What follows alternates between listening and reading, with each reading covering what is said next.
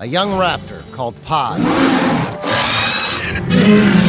fights for his life in a land of giants. His world is a prehistoric battlefield ruled by size and strength. Until a monster from the sea turns this realm upside down. A lone castaway awakens on a distant island and begins his quest for survival. But the journey leads instead to a primeval Neverland. Here, life and death operate on a new and mysterious scale.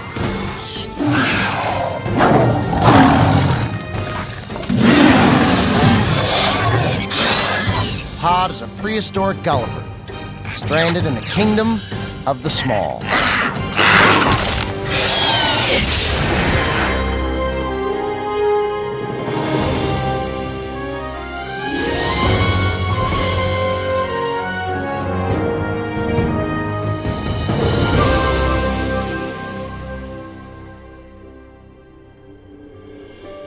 Eighty million years ago, most of Europe sleeps beneath a vast and shallow sea. A matrix of volcanic islands occupies the region known today as Southern Europe.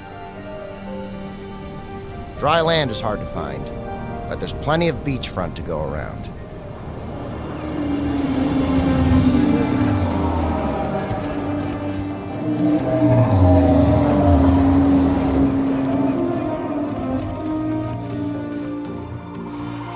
Here, on the Great Islands, the residents are key players in the closing act of dinosaur evolution. A mixed bag of prehistoric vegans and late Cretaceous carnivores roam the fertile lowlands.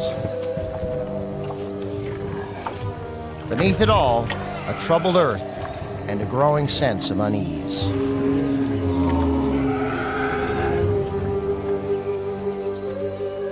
Within 24 hours, a single geophysical event will transform their world. But for now, it's business as usual for two radically opposed species. On the low end, a three pack of agile, pint sized carnivores barely eight feet long. Towering above them, a skyline of titanosaurs, Europe's foremost vegetarians. At five tons, adults weigh roughly the same as a jumbo elephant. Consequently, they chew their greens with a certain nonchalance. But even titanosaurs put lunch on hold when meat eaters loiter by the salad bar. Armed with a killing claw on his second toe and high torque legs, this is Pyroraptor olympius, Pod for short. Pod's deal is not about size, it's about smarts. His brain to body ratio make him almost gifted by dinosaur standards.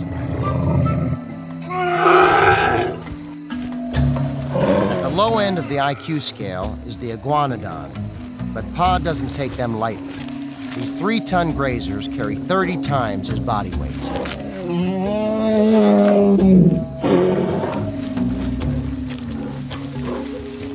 Iguanodons can change their default setting from lawnmower to tree trimmer using their large spiky thumb claws to harvest leaves.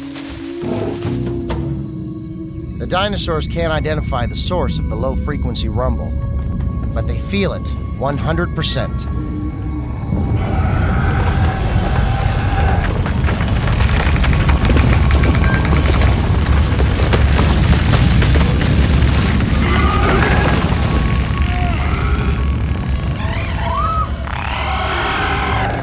Instinctively, Pod's pack heads for high ground. The tremors end as mysteriously as they began.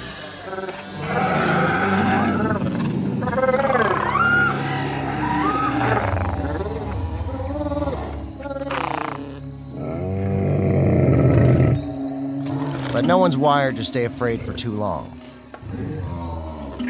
including Pod. He's turned his attention to a new incoming sensation something positive for a change.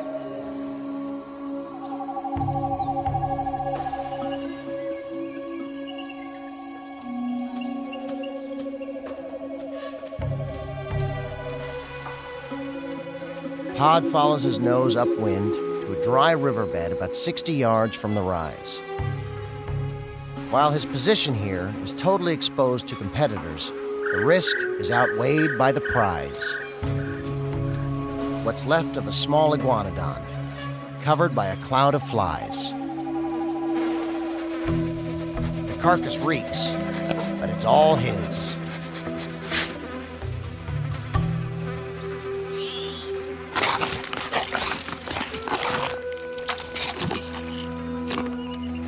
As the dominant leader of his pack, Pod will eat his fill before calling in his sisters.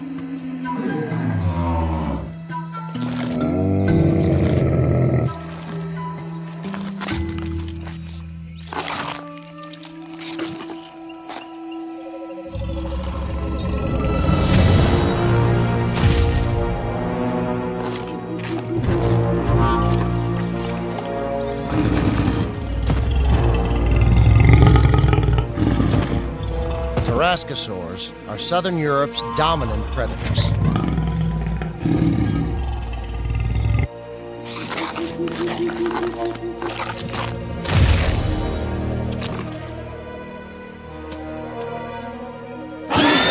Pod calls for backup.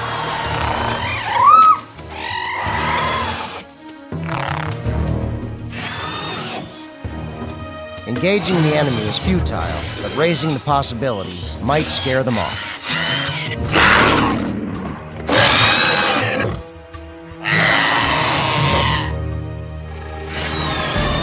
The Tarascosaurs aren't buying it.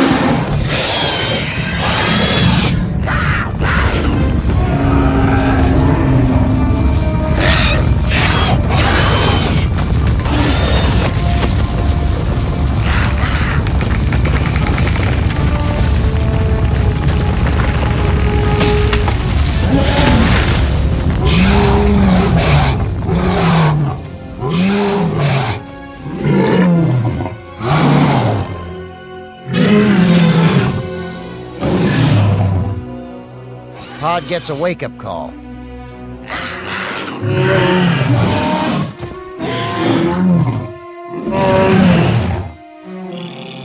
Raptors have won a reprieve. The crippled Tarascosaurus is no longer an asset to his mate. Given the chance, she might even eat him for lunch.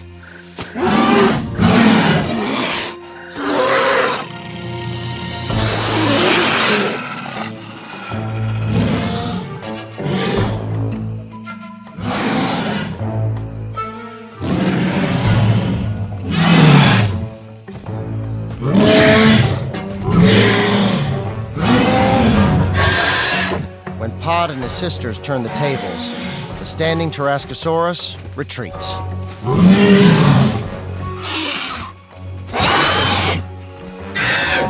The pack consider their endgame, but only one move presents itself. To run for their lives.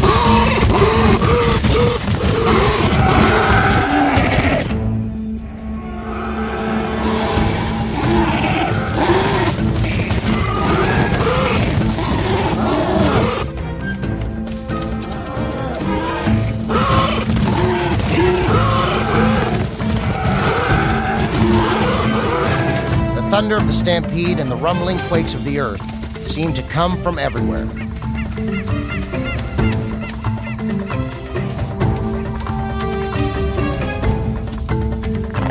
Pod stops to see if his pack is safe from the iguanodons.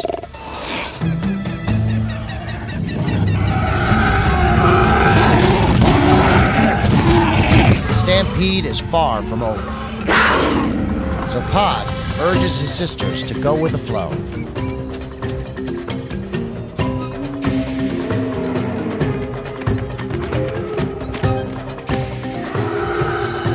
Volcanic tremors escalate the level of distress.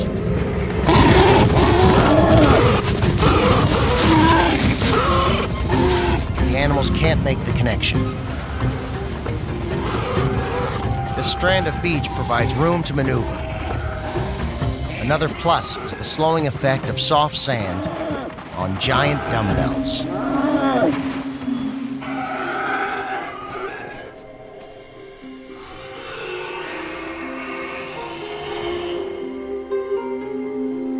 Pod and his sisters have come to this beach many times to scavenge for dead fish, but tonight is so different.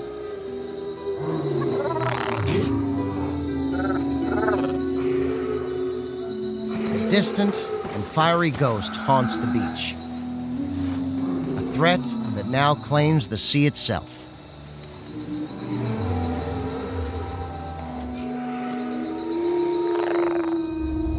Far beneath the surface, two opposing crusts of the earth have reached a breaking point.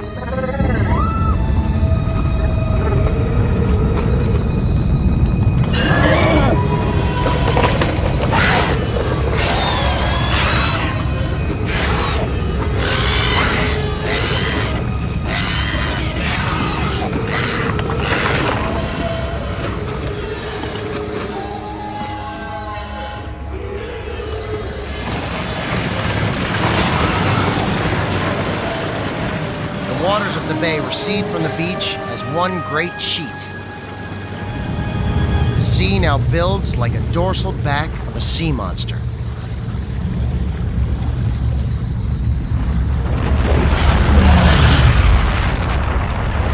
As a single towering beast, the water returns to the land.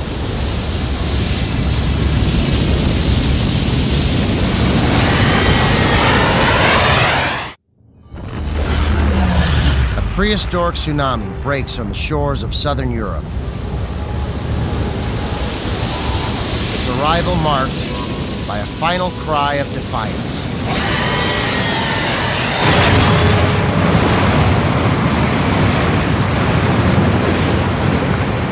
The great wave locks the animals in a slow motion vortex of water and debris.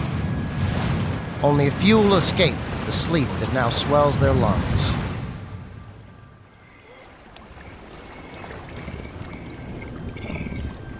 One small predator evades death.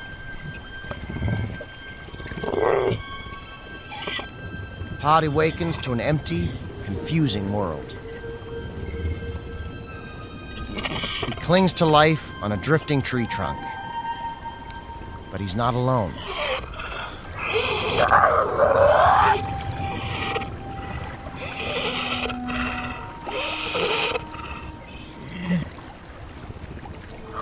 One of Pod's sisters has survived. Joined by one of his kind, Pod is reassured that part of his pack still exists.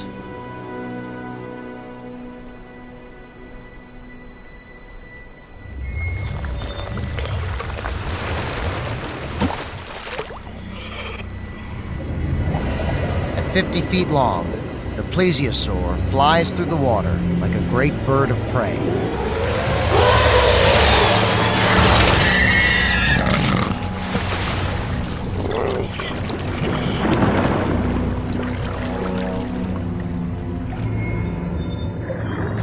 In its jaws is all that remains of Pod's clan. The only link to the past broken forever.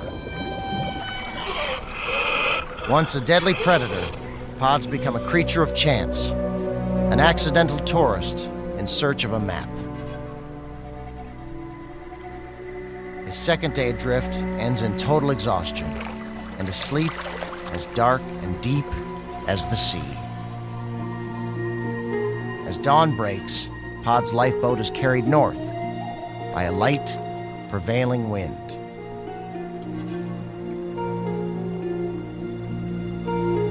But driven by the rising sun, the salt air and heat preys on Pod's last reserves of strength until night falls again.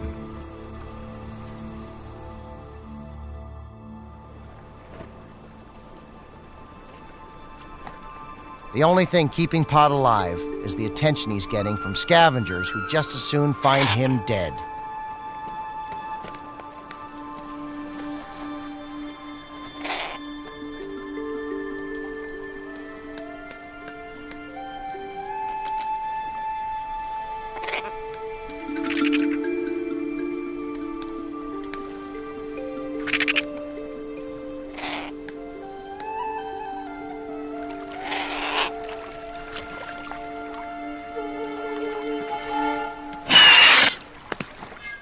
The ichthyornis is a major pain. But his presence here is also a positive sign. Birds like these cannot survive entirely on the sea.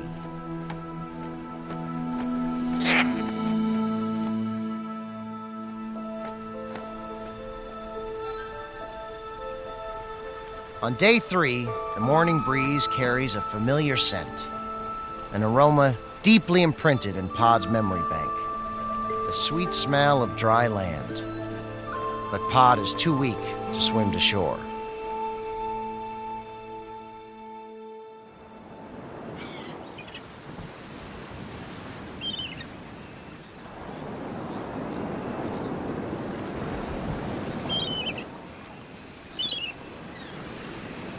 The next morning, on the island in question, the seabirds are at it again. Something new on the beach.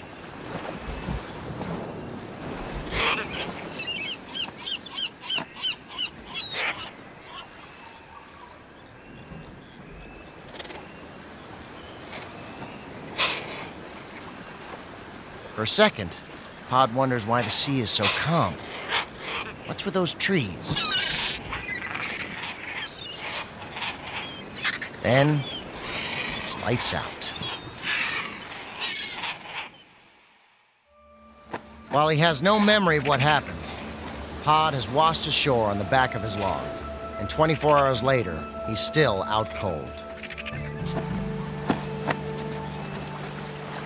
Curiosity once again overcomes the seabirds, and they're not the only ones. Drawn to the scene by all the racket is a very small version of Pod.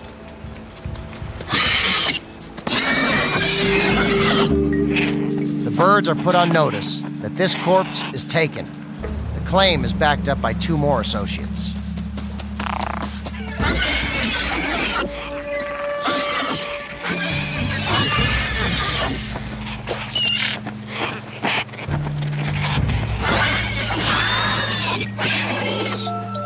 And stay away.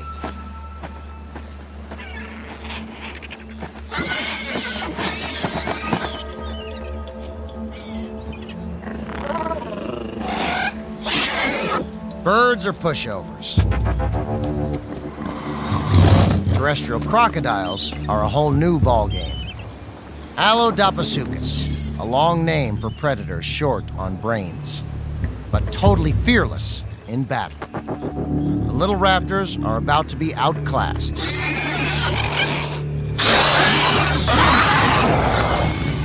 In more ways than one.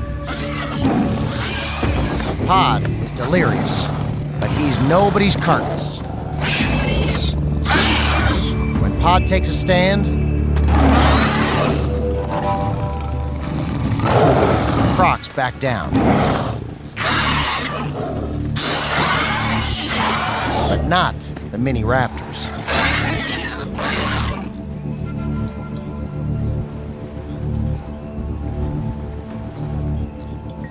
Pod's never seen such aggressive behavior from animals this size. And for some unknown reason, they've never seen anything like Pod.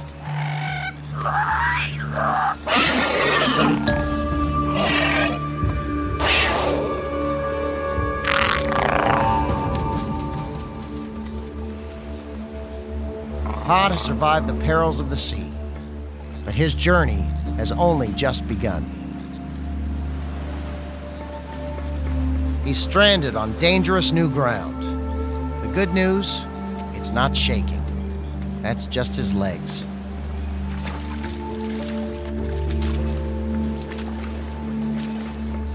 Half dead but determined, Pod will follow the trail of the local raptors.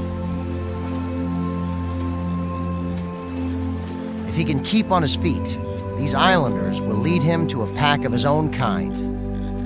A second chance.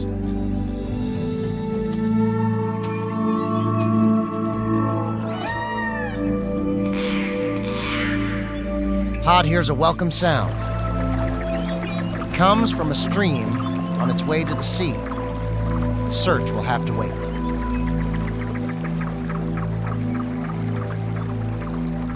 Pod hasn't had a drop of fresh water in days.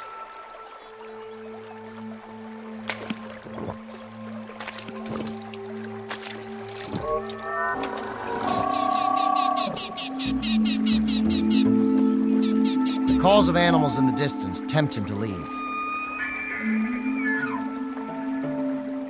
But Pod senses he doesn't have the juice. He must drink now or die.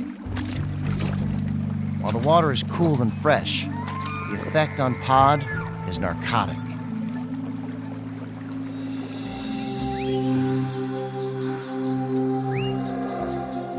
It's time to find a safe place to crash. Base of a 10 story softwood, a hard day ends on a pillow of soft leaves.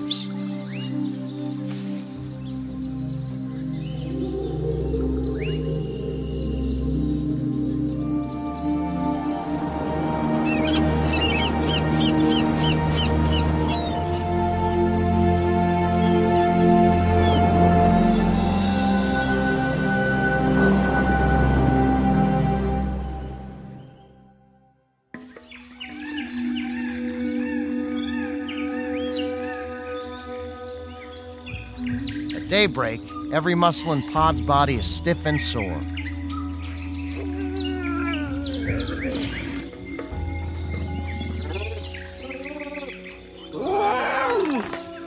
A thick crust of sea salt on Pod's skin and feathers demands attention.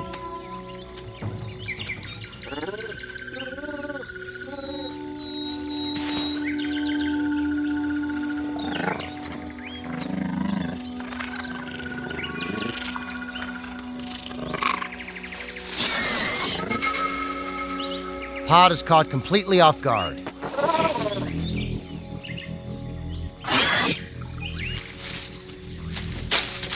It's one of the raptors from the beach. How can a creature so small be so aggressive? Pod's gut tells him that a pack of hunters is planning the next move.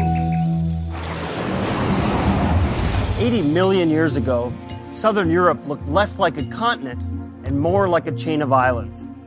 The islands dotted a body of water called the Tethys Sea, yet the dinosaurs still managed to get around. How? Would you believe bridges and boats? During the age of dinosaurs, continental drift was reshaping the face of the planet. As the continents drifted, the animals went along for the ride.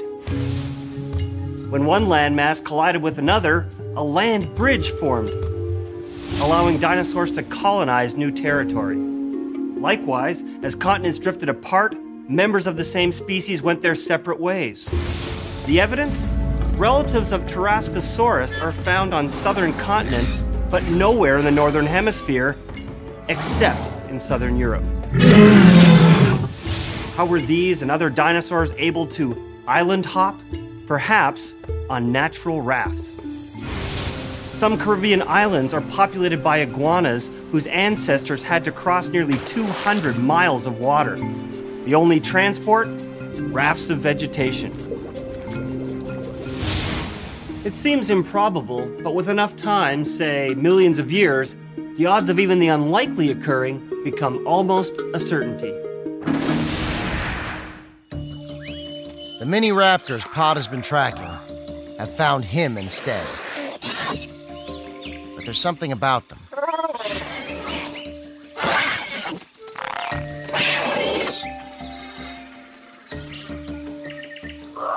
Instead of treating Pod as a kindred species, they panic and retreat, as though he were some kind of giant alien predator.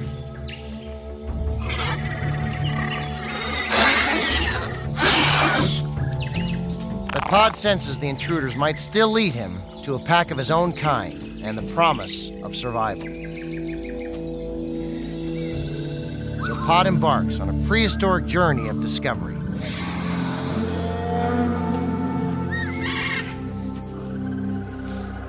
Yet, the more he explores this brave new world, the less he understands it.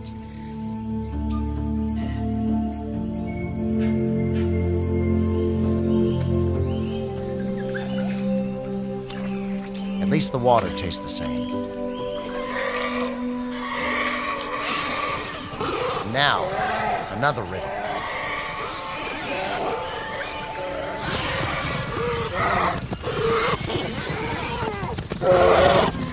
A herd of tiny iguanodons hunted down by the same mini raptors. While Pod's hunger is stupendous, he can't bring himself to join the hunt.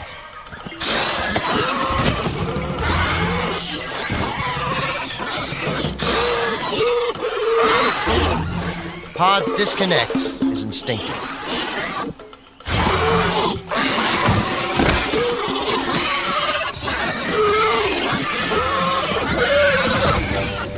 While the size ratio between predator and prey is the same, the overall scale of these creatures compared to their surroundings is too small.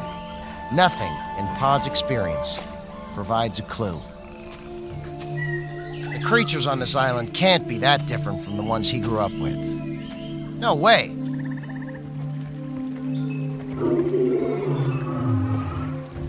Just downriver, Pod stumbles straight into a catered lunch. A group of pint sized titanosaurs stand directly upwind. Called Magyarosaurus, they are one quarter the size of the giants Pod knew on his old island. These pocket versions are completely unaware they've walked directly Pod's crosshairs.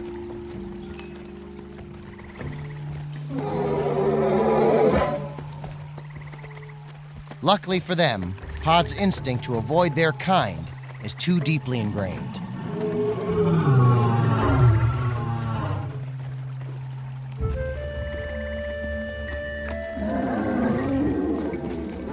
Feeling no comfort factor, he withdraws.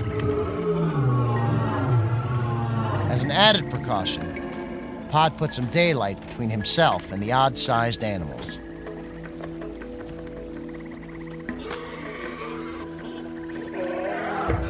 Just around the corner, his luck takes a 180.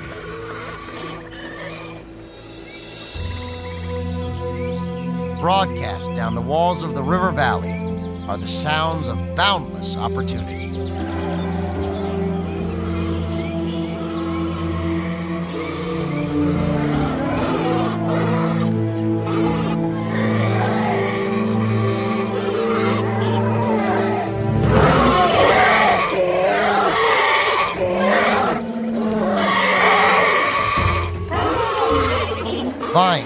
Territorial control. Two dwarf iguanodons duke it out. And the fight seems to be spinning out of control.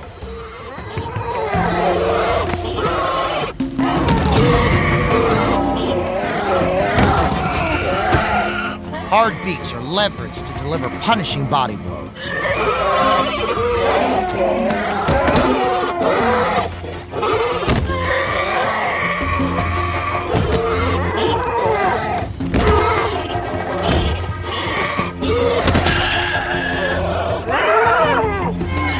Invading male takes a serious hit from a sharp thumb spike.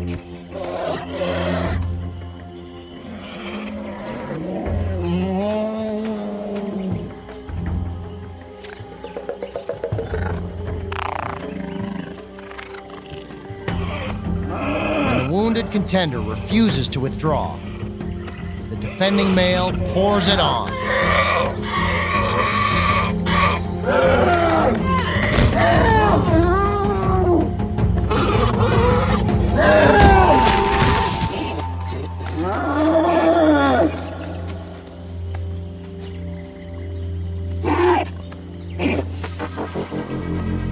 Pod is not the only predator drawn to this showdown. A hunting party of land crocodiles have waited this moment.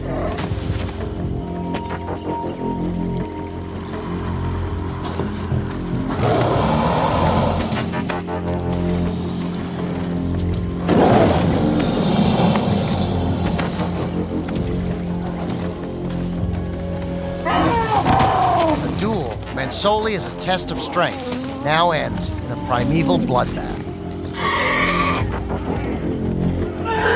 For the victorious iguanodon, triumph is fleeting.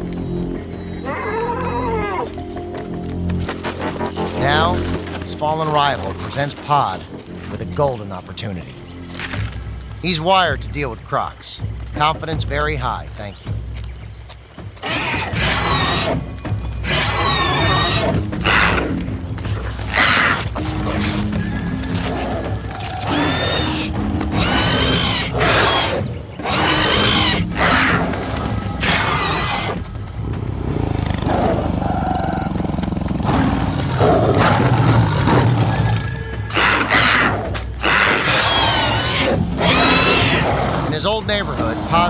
These bullies off many a kill. This crew is no different.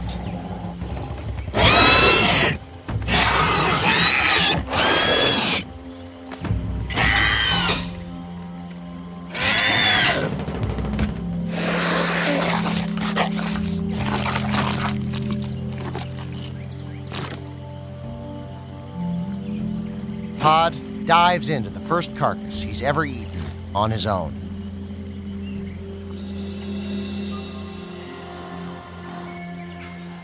The siesta that follows provides the crocs another shot at the leftovers.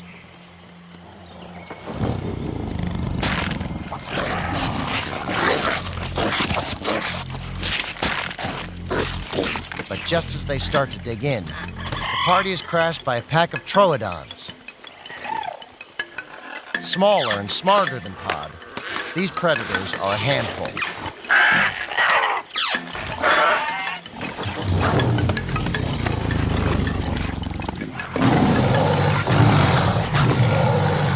Land crocodiles refuse to share the carcass.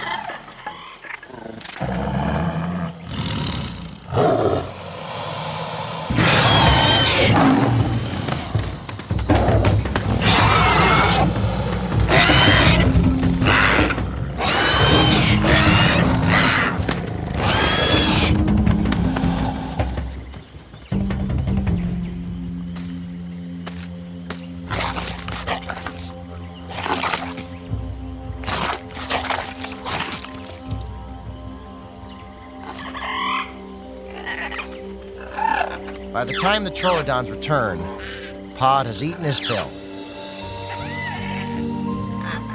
The fresh meat has returned his strength, and he'll need every ounce of it for the new challenges that lie ahead.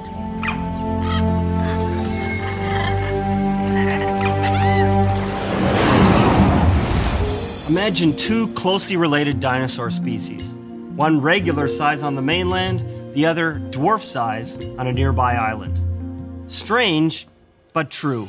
Or at least that's what the fossils seem to tell us. Take this sauropod leg bone. It's truly impressive in size.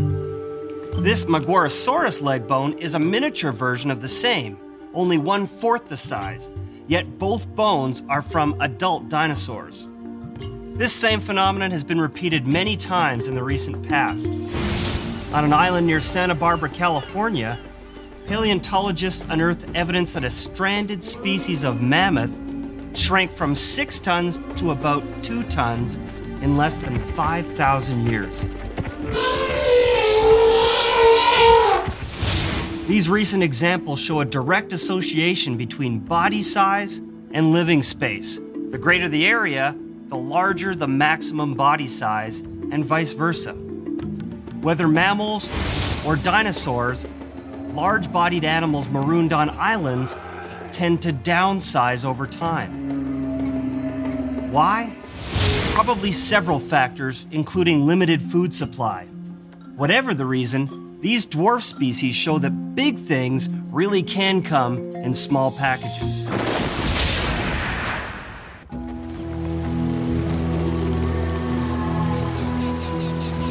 Like a river, evolution takes the path of least resistance as it flows through time and space.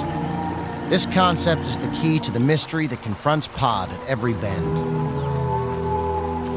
While concepts are beyond Pod's abilities, his primal confusion over the size of the islanders is about to end.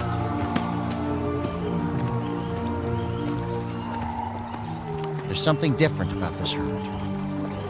Pod sees creatures of the same kind together adults and juveniles walking side by side. They're the same animals as those he grew up with, only smaller.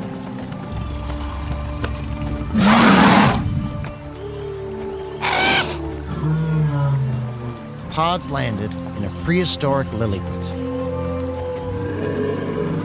This island is smaller than the one he came from, and the environment can't support normal sized animals like Pod. So evolution has favored the small over the great. Life and death struggles go on here, only on a smaller scale.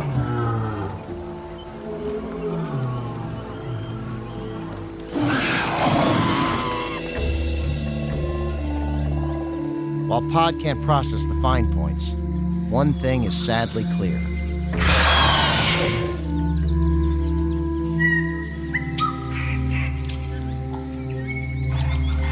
More alone now than he ever was at sea.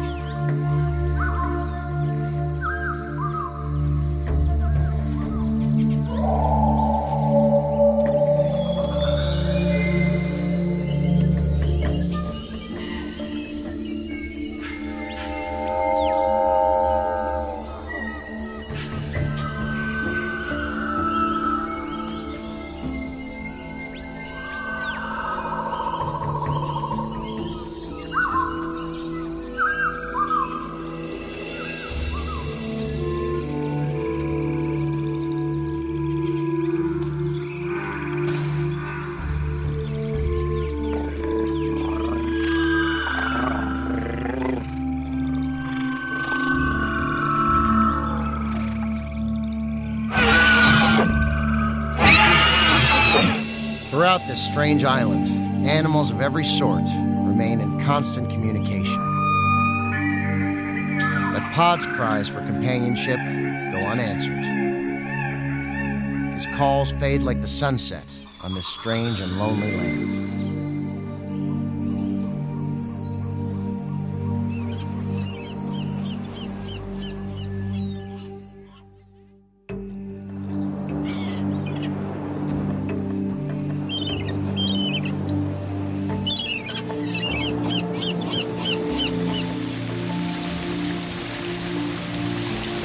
Pod's new land ascends from the sea to a high country, alive with hidden cascades and lush valleys.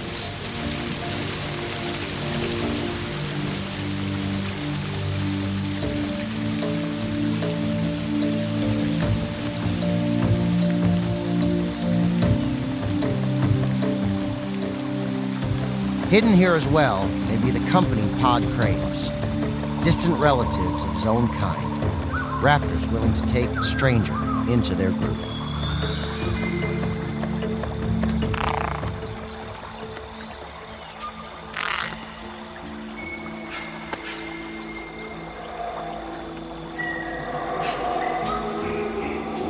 Up on this high ridge, the sounds of other animals seem to come from everywhere.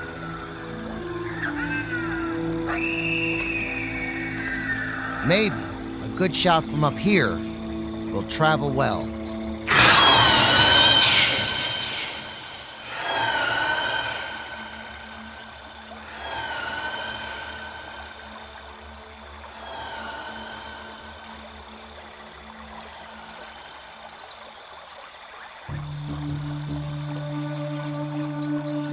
Deceived by his own echo, Pod believes he's made contact with another raptor like him.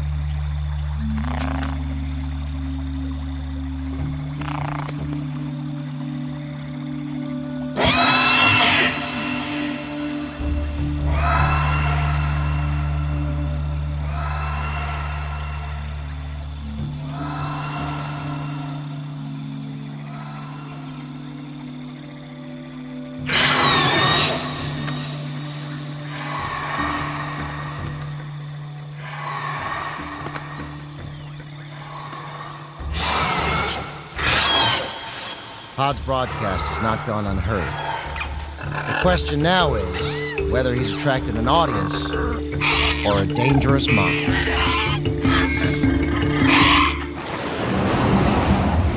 Pyroraptor is known only from a handful of bones, yet it is fully reconstructed here and with many bird like features. Is this gross speculation? Well, not quite. We start by looking at specialized features common to two or more kinds of species. That evidence is then used to generate a branching diagram that gives us a best estimate of evolutionary relationships, a kind of biological family tree. The few bones we have of Pyroraptor share several specialized features with other small carnivorous dinosaurs like Velociraptor. Since Velociraptor is known from nearly complete skeletons, we can use this information to help reconstruct the missing pieces of Pyroraptor. Sherlock Holmes might have called it deduction, biologists call it cladistics. But what about non bony tissues, like feathers? Recent discoveries in China include remarkable fossils of several kinds of meat eating dinosaurs with distinct feather impressions. The diversity of this feather evidence now includes several groups of carnivorous dinosaurs, indicating that the common ancestor of these little predators was also feathered. Since Pyroraptor belongs to one of these groups, it's reasonable to conclude it was feathered too, though we can't be certain. In my line of detective work, new clues are always turning up, and few cases are ever truly closed. Pod's quest to find others of his species has ended in failure.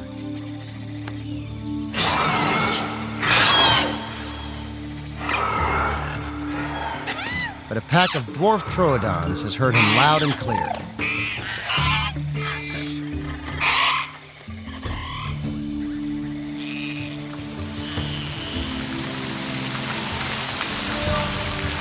Pod has reached a crossroads on his journey of discovery. Play it safe on the high ground or climb back down to a world of uncertainty and risk. There is no doubt the plaintive calls are meant for him, but they come from a pack of skillful, well organized predators.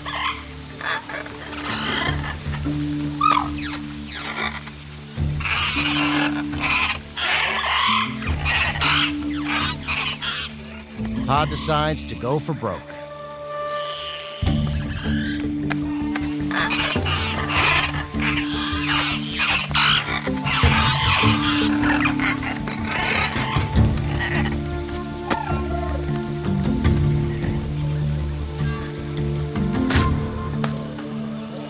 With his killing claw deployed, Pod is ready to confront the pack.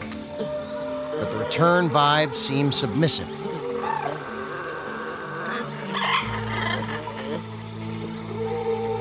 The first time on this island, he gets some genuine respect.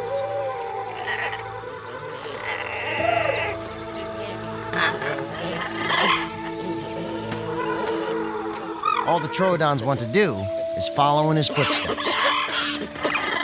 Literally. Pod's new pack want this relationship to last. Like them, he's an intelligent and accomplished killer, only more so. Like four feet more so.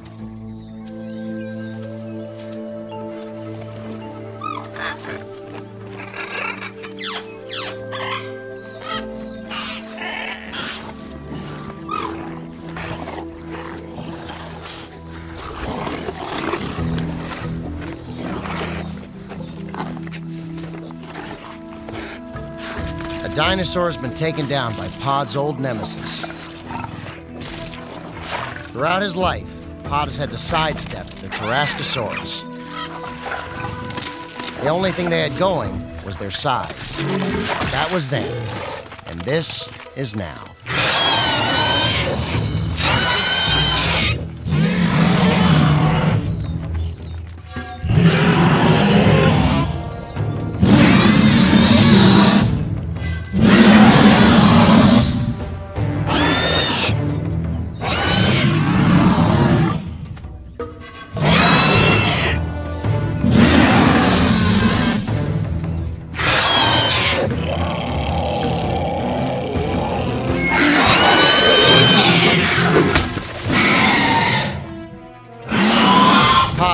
toes score direct hits.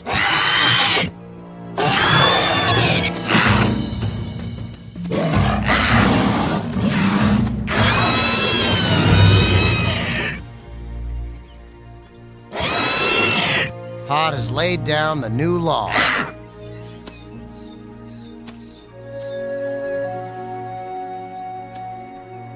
From now on, all kills on this island belong to him.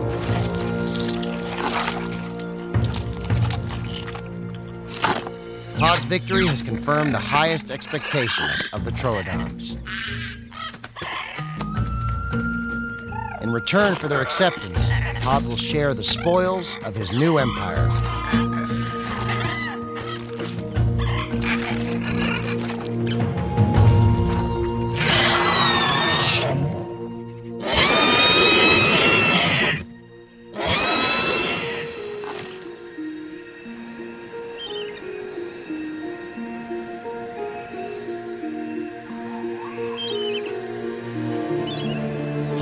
Now the apex predator of the island. The sun has risen only 10 times from the day he washed ashore. And Pod has yet to find the mini raptors that inspired his long trek inland.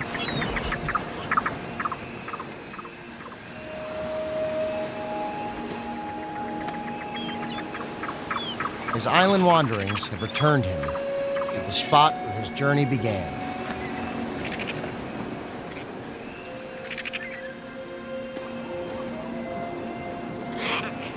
The calls of the seabirds turn his attention to a large and familiar object.